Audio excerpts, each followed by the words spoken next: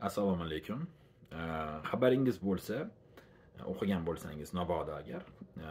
Shu yilning yigirma birinchi fevral kuni e, sergey yeshkov tomonidan o'zining o'zmetronom saytida brilliantовый мальчик nomli maqola e'lon qildi.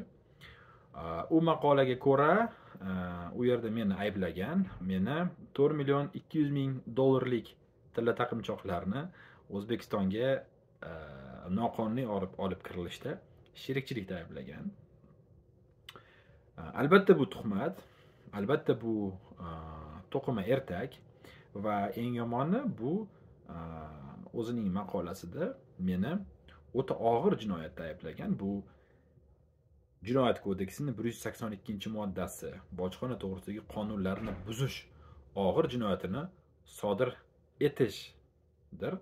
Mm, va eng yomoni mm, man sergey yeshkovni e, kimligini uncha yaxshi bilmayman lekin o'zi bilan shaxsan tanish emasman lekin e, ikki ming o'n oltinchi yilga qadar odamlar orasida shunday fikrlar yurardiki u go'yoki ayrim maxsus xizmatlarning mm, buyurtmalarini bajarib kelgan go'yoki u e, ayrim fuqarolarni shu E, obro'sizlantirish uni obro'siga putur yetkazish quroli sifatida mm, ishlatilib kelingan degan fikrlar ham yo'q emas. Men buni bilmayman rost yoki yolg'onligini lekin shunday fikrlar albatta bo'lgan va bu safar ham ana shunday buyurtma bormi yoki yo'qmi e, buni endi tergov hal qiladi. Buni tergovga beramiz. Men chunki mm, ikki ming to'qqizinchi yildan beri sergey yeshkov tomonidan men tahlil qilib ko'rdim.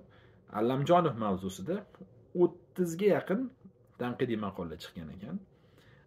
Shu paytgacha indamadim chunki men so'z erkinligi mm, umuman matbuot ochiqligi tarafdori bo'lib kelganman. Buning uchun kurashganman buning uchun harakat qilganman. Hozir ham harakat qilib kurashib kelyapman va bu narsani men faqatgina ijobiy baholayman lekin bitta bir izoh bilanki har bitta maqola har bitta material va har bitta tanqid asoslangan bo'lishi kerak.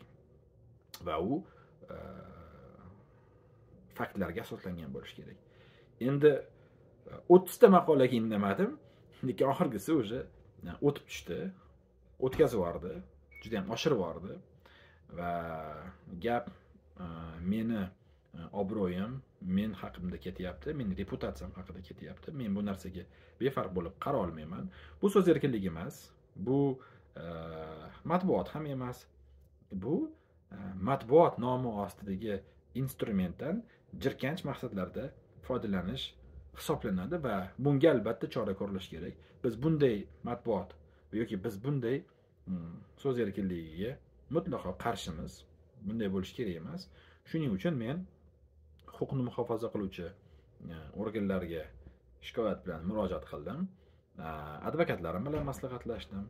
Agarda sergey yishkov to'rt million ikki yuz million dollarlik e, to'rt million ikki yuz ming dollarlik tilla taqinchoqlarni men olib kelganimni yoki olib kelinishida sherikchilik bo'lganini isbotlab bera olmasa unga nisbatan huquqshunoslarni ta'kidlashicha e, jinoyat kodeksining bir yuz o'ttiz to'qqizinchi moddasi uchinchi qismi a bandi. Og'ir yoki o'ta og'ir jinoyat sodir etishda ayblab tuhmat qilish bilan jinoiy ish qo'zg'atilishi mumkin va unga nisbatan chora ko'rilishi mumkin. Hmm, hammasini qonun va sud hal qilishi kerak. Men buning uchun barcha kerakli ma'lumotlarni berishga tayyorman.